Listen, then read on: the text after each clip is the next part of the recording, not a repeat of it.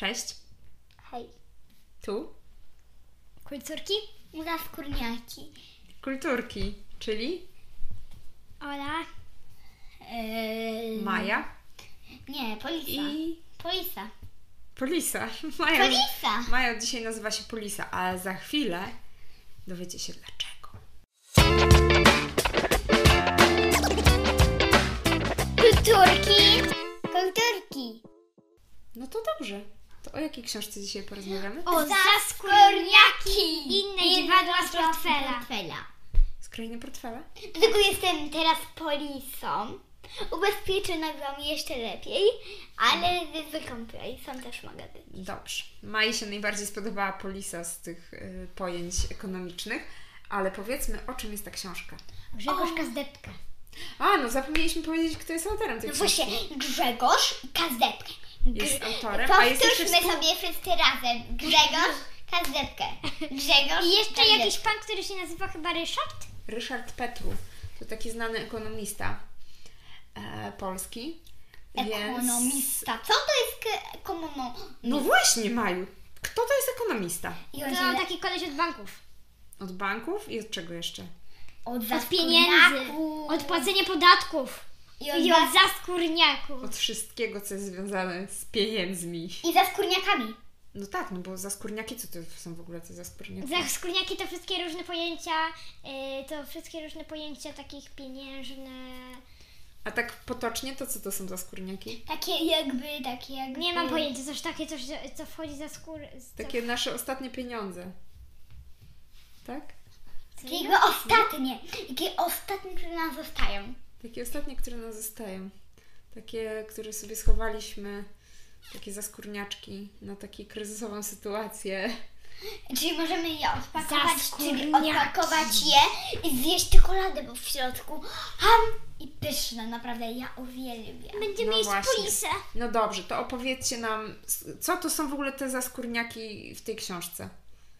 Stworki. Stworki, potworki, Potworki, potworki. Czyli takie różne dziwadła. Mam 5 Gdzie one złotych. mieszkają, te dziwadła? Mam 5 złotych, mogę za to e, poprosić o bilet? I ze skórniaka. Gdzie mieszkają zaskórniaki? W Zaskórniaki ogrodzie. mieszkają w ogrodzie dziwadeł. W ogrodzie? Dziwadeł. Jakby takie zoo małe. O, może ja powiem o bohaterach? Mhm. Jest tam pan Rysio, taki pan, który wymyślił ten ogród i najpierw tylko opowiadał o tym takiemu panu i on w pewnym momencie, bo on mu codziennie e, przychodził, pomagał w inwestycji tego wszystkiego Bo on nie miał pracy. i zaproponował mu, czy pan nie chciałby u mnie pracować jako dozorca. No Nie miał pracy. zgodził. Tam było wtedy jakie wytłumaczone pojęcie? Nie wiem, Bezro... bezrobocia. Bezrobocie. I to jest No, właśnie bardzo I niebezpieczne. on właśnie został dozorcą, ten pan, gruby, grubiutki dozorca, tam był pan Rysio, grubiutki do- dozorca, potem jeszcze yy, bi, biletera? Nie, kas- Bileter. Tak, biletera, chudziutkiego jak patol, yy, dlatego, że taki, który by się zmieścił w ich budce, on specjalnie w ogłoszeniu o pracę napisał, że, yy, żeby każdy napisał, kto ile waży i on wziął osobę, yy, i on wziął osobę, która najmniej ważyła i okazał się tym pan, który był cięższy niż patyczek, no oprócz tego, że patyk w okularach. Mhm. I jeszcze potem za, y, jeszcze potem, y, jak, to, jak się nazywa ta, jak się nazywała ta pani? Praktykant. Praktykantkę zatrudnili jeszcze. A kto jest praktykantka? Nie mam pojęcia. Tak Ktoś, naprawdę. ktoś kto robi wykłady? A ktoś, kto robi praktyki tak zwane, czyli dopiero się uczy pracować. Tak? Czyli idzie i praktykuje coś, czyli Uczy się. uczy się czegoś nowego. Jeszcze nie pracuje, jeszcze nie jest zatrudniony normalnie jakby na pełną pracę, na etat, Ona często robi mnóstwo kłopoty, bo wypuszcza różne, różne stworki. czyli ona się dopiero uczy i pewnie dlatego i tak nie Na wychodzi przykład- czasami. Ale ono jest takie mięciutkie, chciałam, żeby, że- chciałam je wypuścić, żeby sobie pobiegało po trawniku. To Czemu ty wypuściłaś kredyt? No właśnie, kredyt wypuściła. Powiedzcie właśnie, jakie stworki tam są w tym ogrodzie.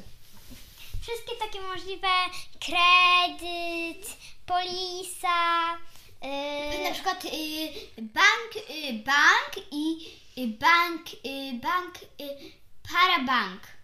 Parabank? bank i parabank. Są takie bo bank i. Bo, bo patrz, Bo, te, bo jest bank, jest bardzo miły. Nic nie zrobi, macha ogonkiem, jest bardzo miłym stworzeniem. A Ale para parabank- może ugryźć. On może ugryźć, dlatego że on, że jakby on, parabank, chce wszystko wcisnąć komuś, że jakby, jakby mm, daje jakiemuś człowiekowi 100 złotych i robi taką reklamę, że jak ktoś coś posłucha, czego zrobić takiego czegoś, to daje od nich 100 złotych. Daje niektórym, daje niektórym, a potem in, mnóstwo osób się zwawia i im nie daje. Czyli co, taki parabank wygląda jak zwykły bank i jest super miluśny. Ale jest bardzo, jest taka rzecz głupia, dlatego że tam Gryzie. Bo, bo parabank jest jakby takim jakby oszukańcem tam. Mm, I, mm, Ten piesek zawsze udaje takiego słodziutkiego, a potem ham. no. I ten parabank nigdy nie ma w sobie bank. Nie ma swoje... W nazwie nie może mieć bank. No właśnie, więc on jest parabank. Parabank. Jest parabankiem. Jest taką instytucją, która nie Parabank jest prawdziwym PKO. bankiem, ale tak trochę udaje bank. Czyli parabank PKO. Albo ba, Nie. ale par, y, pa, y, para, ba, para, y, oni się specjalnie jakby tak, jakby, jakby chcą jakby z, jakby jedną literkę z tego Tak, bank tak. wykluczyć, żeby było jakby takie inne. No tak, że są troszkę inni. E, jakie jeszcze tam były takie pojęcia? Ty- a, Kredyt był na przykład. Par, Maja bank. dzisiaj y, po tej książce się pyta, czy mam jakiś kredyt. No, no, no, no, ale mieli kredyt, macie kredyt przecież na mieszkanie. To nie jest nasze mieszkanie, to jest kogoś innego. Banku. Nie parabanku. Bo wzięliśmy kredyt w banku. No i to jest naprawdę banku mieszkanie. My mieszkamy w mieszkaniu w banku. Jak większość ludzi. My mamy tutaj bank. Nie mamy... tylko w mieszkaniu, bo też domy w większości jest. Mhm. Jakie jeszcze tam były pojęcia fajne, które zapamiętałyście? No Maja na pewno Polisa, bo to jest teraz jej drugie imię. Polisa ubezpieczeniowa. Poproszę o polisę. Mhm. Polisa jest milutka. Milutka jest Polisa. I co zapewnia Ci Polisa? Polisa, polisa, polisa to jest obrona dla ciebie i dla twoich pieniędzy. Mhm. Że jak coś Ci się stanie, Że na to przykład co? jak za, jakby samochód ci się zepsuje, ja to, pamiętam, wtedy, jak- to wtedy jak y, samochód ci się zepsuje, to wtedy masz za darmo naprawienie tego samochodu. Na przykład. Mamo, wiesz jak to, jak tam była ta, że tam był jakiś stworek i oni nie wiedzieli co to jest, ale on ciągle piszczął i, i oni mu wrzucali różne jedzenie, i, e, ale, ale odpłacił im się tym, że potem tam pan Rysio wpadł i on, i on go uratował, go, bo go cały w ślinie wystrzelił do góry. E, polisa, ube, e, i polisa ubezpieczeniowa. Mhm. Było też, pamiętam, o cenach. Minimalnych, Mhm. maksymalnych. A, ja pamiętam. Jak on robił wykład temu, e, temu, Bileterowi. tak, to było dobre. Co jeszcze było? Jakie jeszcze zwierzaki tam się pojawiały? A później był jakiś cyrk, tak? Tak, potem jeszcze zrobili cyrk, bo potem okazało się, że jest, dru- że jest druga identyczny ogród dziwadeł i oni musieli konkurować. I dlatego zrobili cyrk dziwadeł. I co tam w tym cyrku się znalazło? Na przykład, że siłaczem został ten dozorca yy, i, rzuca, i rzucał nożami. Yy, ta praktykantka miała na szyi, nie pamiętam jak się nazywał ten, ten stworek. Że on może ugryźć, ale jakby jest miły. Mhm. Że jeśli się wystresuje, no to był miły, no i ona sobie go, wytr- yy, a jak się nie wytresuje, no to on może gryźć. I ona go sobie obwiesiła wokół szyi. Mm. Tam było coś o długach. Nie, on był długiem. Długiem był chyba. Tak, długo. A co znaczy mieć dług? Że jakby masz dług na przykład kredytu. Mhm. Nie zapłacisz mm, tego kredytu, to wtedy przychodzą do ciebie i zabierają ci rzeczy różne. Ile to kosztuje? Ile to kosztuje? No i zabierają ci różne rzeczy. Na przykład samochód, dlatego że muszą jakby sobie wypłacić kredyt. Że coś ktoś pożycza ci coś, to ty masz wtedy dług wobec niego, tak? No. A pamiętacie, takie było pojęcie też barter. Barter, pamiętacie co to znaczyło? Brzmi barter jak pies. Wymiana barterowa. A, chodzi o parter. Nie. O Barter? barter przez B. No i co z tego? Brzmi jak parter, więc będzie Że się barter. wymieniasz czymś na coś. A, tak, Nie tak, za pieniądze. Dali tak jest w Afryce. W czym? W Afryce się wymienia na przykład em, daje ci Trzy owce za jedną krowę. Tak. Trzy Albo na konie, e, nie, trzy krowy na przykład za dwa wielbłądy. albo, Tak. albo na przykład em, osiem świnek za, dź- za na przykład Powinni- załóżmy sześć wielbłądów. Powinni mi zrobić takie, z- powinni mi zrobić takie zadanie z ma w matematyce. To co Wam się dziewczyny podobało w tej książce? Najbardziej. Mi się podobało. Bardzo mi się podobało, bardzo mi się podobało, bardzo mi się podobało. Ale co? Za skórniaki i polisa, polisa, polisa i polisa. Mi się podobał pan Rysio. A mi się polisa podobała. Dlaczego Ci się podobał Pan Rysio? No bo on był taki śmieszny. Mi się podobała polisa, za skórniaki, pan Rysio, no i pan dozorca. Czyli co, bohaterowie Wam się podobali? Tak. No, Tam były różne fajne pojęcia. Mhm. na przykład jak polisa.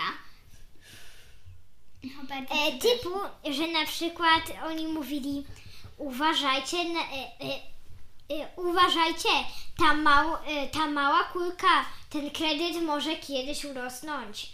Uważajcie, on może zacząć coś wam zjadać. I tam była, pamiętam jeszcze takie, bardzo mi się podobała taka historia, że tam stworki sobie latały i zaczęły gryźć wszystkich nogawki. Mhm. Nie pamiętam co to było. Odsetki? E, chyba tak. nie, nie wiem, nie pamiętam co to była. Odsetki to były. Może to były odsetki od kredytu, które Wam zjadają, oszczędności też. I one... Te w skarpecie też mogą zjeść. Mm, nie mogą. Mogą, mogą. Inflacja może zjeść. Było o inflacji? Była inflacja. Tak. Mm, inflacja zjada oszczędności. Naprawdę. O, i tam było jeszcze o, pira- o piramidzie takiej, że, No tak. że wszystkie różne zwierzaki się ustawiały, ale tylko ci na górze zeskrywali, bo zapraszali wszystkich, żeby ten, a okazało się, że y, na samym dole, że na sa- nie, tak, że na samym dole wylądowali te najchudsi, najchudsi, a na samej górze był wielki grubas. No, trzeba się strzec. Piramidy. No to nie jest egipska piramida, tylko piramida finansowa. To jest takie oszustwo. Że jak oszustwo? Oszustwo. Biedne Zabierają od tych biednych ludzi, którzy tam wkładają jakieś pieniądze i później to idzie, idzie do góry, aż na górze ten, co ma, to zabiera te wszystkie pieniądze, co inni wpłacili. I ściemniają tam, że będzie je inwestował, on ich nie inwestuje, on sobie sam je zabiera, albo sam je inwestuje i sobie na nich zarabia. To jest takie oszustwo. E, Czyli co, były fajne pojęcia wyjaśnione, ekonomiczne. Dużo się nauczyłyście gdzie, dzięki tej książce, Maju? No, no tak jakby Alik powiedziałaś to, że taka piramida, że jest na przykład od najchudszych do jakby tak grubszych, grubszych, a na samym szczycie jak jest taki super gruby? No tak Ola powiedziała, Mhm. że na tym polega piramida finansowa. Albo że są ludzie, ludzie, ludzie, na szczycie jest jakiś człowiek i no tam są jakby takie, że daj się Nie, to pieniądze. pieniądze. Tak, chodzi o pieniądze. To jest niesprawiedliwe. No No, właśnie. pieniądze, To jest- zarza- co więcej, pieniądze jest zarządzają przestępstwo. naszym światem. Pieniądze Tak, nas rządzą. opanowały. Mm, cały czas, tak? Wszystko się kręci Dla wokół niektórych pieniędzy. ważniejsze są pieniądze niż wszystko inne. A wiesz, y, Tak bywa. że są ludzie, którzy y, wolą pieniądze od wszystkiego, a, a jakby nie było, jakby, jakby się nie urodzili, to co? No właśnie, to by ich nie Mieliby było. pieniądze, ale nie urodziliby się, po co by było? No właśnie. No, no nie wiem, załóżmy. Albo nawet jak będą tacy sami bo- bogaci, to co? To, to co z tego, że będą mieli te pieniądze? Ale, ale niektórzy w ogóle nie przejmują się tym, że jakby, jakby, że jakby oni... No bo są ludzie, którzy jakby mają więcej pieniędzy, a są ludzie, którzy mają mniej. Na przykład są rodziny, które są takie średnie. Bo że nie mają super dużo pieniędzy, ale mają, nie są biedni. Tak zwana klasa średnia. My mamy, my mamy taką klasę średnią. Na przykład. Bo mam duży dom, no dobrze, mieszkanie, które jeszcze nawet nie jest płacone. Ale fajny terasik. Okej. Dziewczyny, komu polecacie tę książkę? Polecamy ją bardzo dzieciom od może nawet 5 lat do nie wiem, to nawet 16 lat, bo tej No, Ja bym poleciła to również dorosłym. padatka. E, to pomoże im, no... Yy, Czasami nawet dorośli nie rozumieją tych ekonomicznych pojęć, no, prawda? więc warto sobie to... Typu odsetki. Albo kredyt, albo Odsetki inne to są takie typu. małe puchate kuleczki, które wyrwają dogawki. No właśnie. I y, to jest tak, że y, myślę, że nawet dorosłym można tą książkę polecić, bo w taki bardzo prosty sposób tłumaczy bardzo skomplikowane ekonomiczne pojęcia.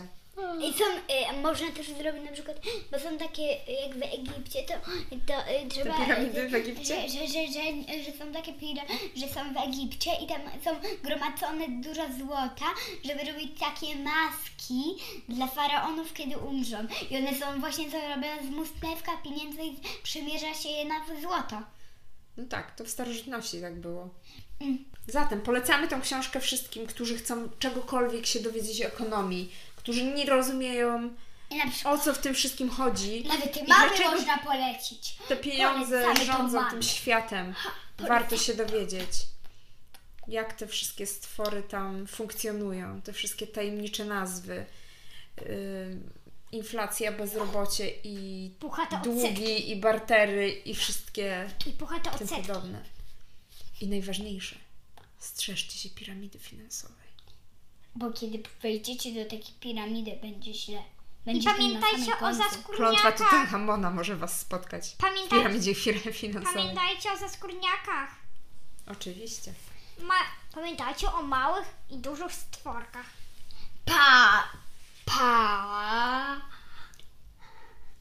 Już czasem żałuję, że podcaście nie widać, co robi Maja. Bo Maja tutaj odstawia całe przedstawienie. Ona gestykuluje, tańczy. Trochę pewnie słyszycie, bo tu aż mikrofon nam podskakuje. E, e, Tańczy, gimnastykę robi. Skacze, Skacze. udaje, nudzi się. Także chyba następnym razem spróbujemy nagrać Wam wideo, żeby pokazać Wam, co wyprawia Maja. A wtedy nie będę się ruszać specjalnie. Nie uwierzę, Może że, i dobrze, nie prawda? uwierzę, że jej się nie uda. Na, na, na, na. Pa, pa! Pa, pa.